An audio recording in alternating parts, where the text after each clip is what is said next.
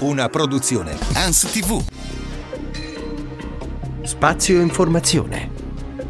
In collaborazione con il direttore di retemessina.it Antonio Genovese.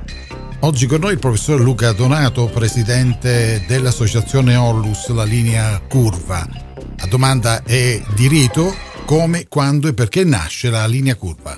Allora, la linea curva è un'associazione di genitori eh, che hanno condiviso insomma eh, questa avventura di avere figli eh, nello spettro dell'autismo. Eh, nasce oramai dieci anni fa, nel 2013, eh, da un gruppo di genitori che mh, aveva, era stato inserito all'interno del progetto Prima Pietra del Policlinico.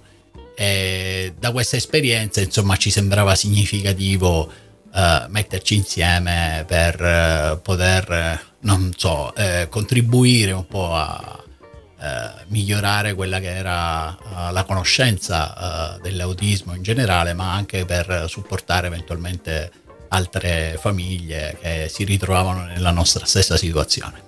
Parliamo un attimo dell'autismo. Quali sono i primi segnali? Perché bisogna intervenire i primissimi segnali? Allora, ehm, senza nessuna pretesa insomma di avere o di dare una definizione non sono un medico eh, e quindi do così delle indicazioni eh, generali.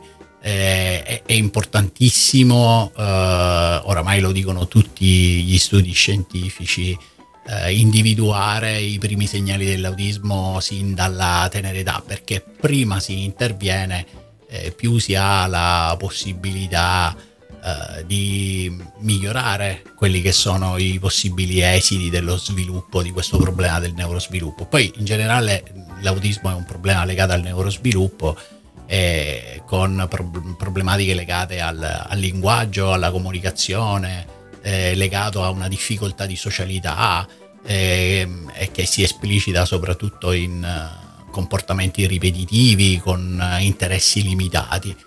Ecco, i primi segnali sono soprattutto quelli che eh, insomma eh, riguardano eh, la, lo sguardo eh, sin da, da, piccoli bambini, l'incapacità di mantenere lo sguardo, di incontrare lo sguardo dei propri genitori, che è uno dei primissimi segnali, ma anche eh, il, non sviluppare eh, il, il, linguaggio in, diciamo, come tutti gli altri bambini. Ecco, questi sono i primi segnali, il, fissarsi in maniera eh, molto ripetitiva su alcuni, su alcuni, oggetti, esprimere attraverso lo sfarfallio delle mani le emozioni. Insomma, ce ne sono tantissimi segnali, ci sono dei decaloghi che si possono trovare in rete molto ben, eh, che aiutano a identificare molto bene quella che è la problematica sin da piccolini. Ecco, l'importante è che se uno ha il sospetto non deve aspettare, deve andare subito da uno specialista perché prima si, si sa la diagnosi, più si può intervenire. Vi è un progetto denominato Interpares, tra i più innovativi ed inclusivi in Italia, che include anche nove protocolli. Lo scopo è quello di migliorare la qualità della vita delle persone affette da disturbi dello spettro autistico e delle loro famiglie. Ne parliamo? Allora, il progetto Interpares è stato eh, sviluppato da alcune associazioni anche con eh, il eh, supporto eh, del, diciamo soprattutto mm, con il CNR, con l'Istituto Superiore di Sanità.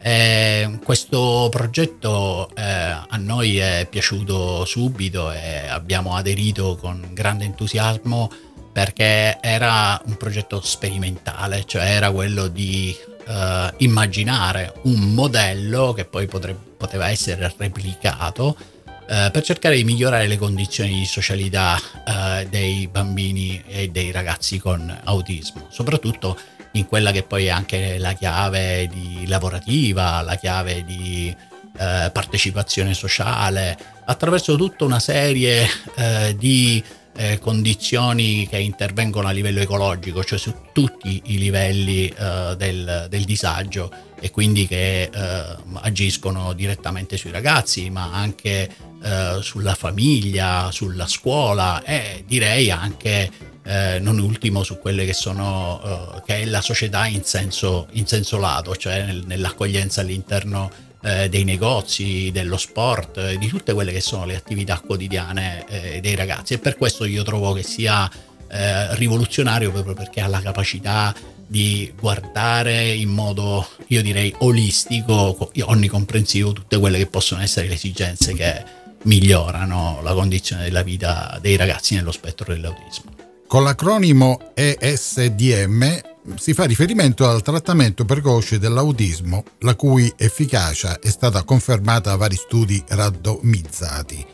Quali sono le sequenze di questo metodo? Quali sono i diversi step? Allora, eh, fondamentalmente, eh, ripeto, mh, mm, parlo da, da, papà, non parlo ecco, da papà che ha, ha, avuto la fortuna di avere un figlio che eh, è stato trattato quando era piccolo in terapia proprio con l'Early Start Denver Model.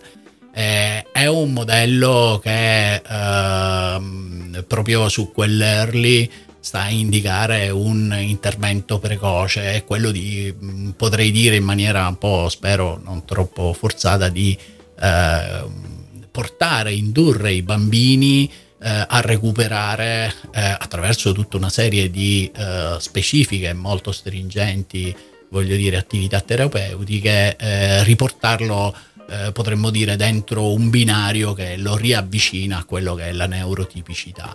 Eh, ovviamente è un trattamento che richiede eh, un'attività intensiva, praticamente quotidiana, e che ha anche eh, il pregio di coinvolgere eh, la famiglia proprio perché la famiglia che eh, vede partecipa alle attività terapeutiche poi può ripeterle anche eh, a casa e in famiglia. Io posso, mi ritengo fortunato ad aver incontrato insomma, eh, persone che mettevano in atto questo modello e insomma, i risultati credo che siano ben visibili. A fine marzo mi è capitato qualcosa, di leggere qualcosa che mi ha commosso, che dovrebbe essere la normalità, ma che invece rappresenta l'eccezione.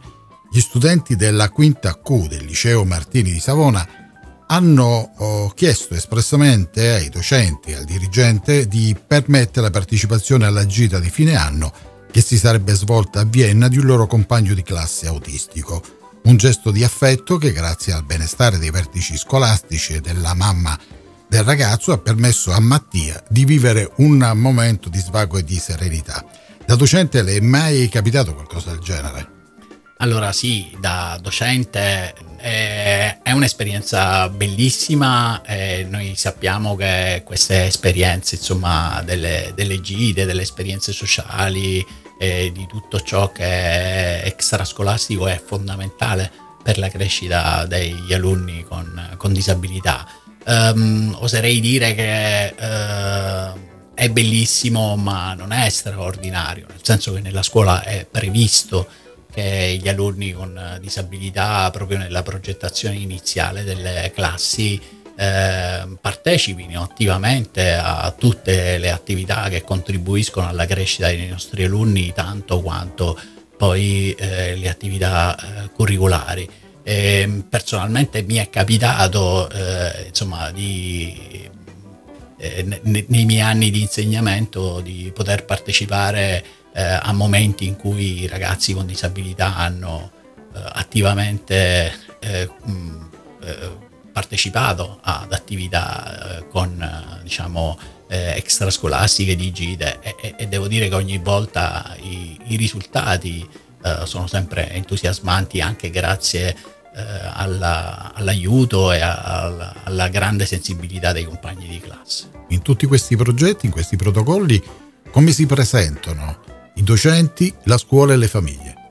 Allora, ehm, i docenti mh, quasi sempre eh, mostrano una grandissima eh, sensibilità.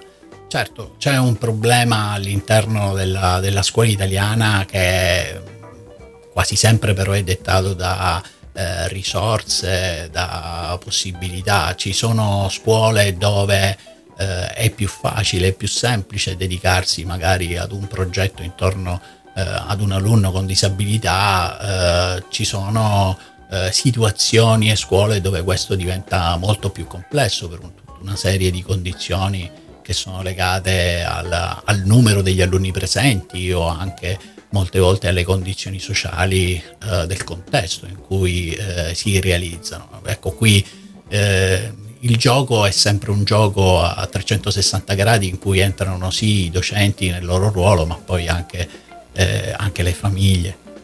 In chiusura vogliamo ricordare, anzi vogliamo dire per la prima volta come farà contattare voi della linea curva. Allora ci possono contattare grazie alla nostra pagina Facebook o anche alla nostra eh, pagina internet che è la linea curva onlus.it eh, dove trovano i contatti sia mail, telefonici eventualmente per, per entrare in contatto con noi. Ma professore, io la ringrazio, la ringrazio anche i nostri radioascoltatori, lei è il presidente della linea curva, una Onlus. Noi di Spazio Informazione ci sentiamo tra sette giorni. Abbiamo trasmesso una produzione ANS TV. Spazio Informazione. In collaborazione con il direttore di retemessina.it Antonio Genovese.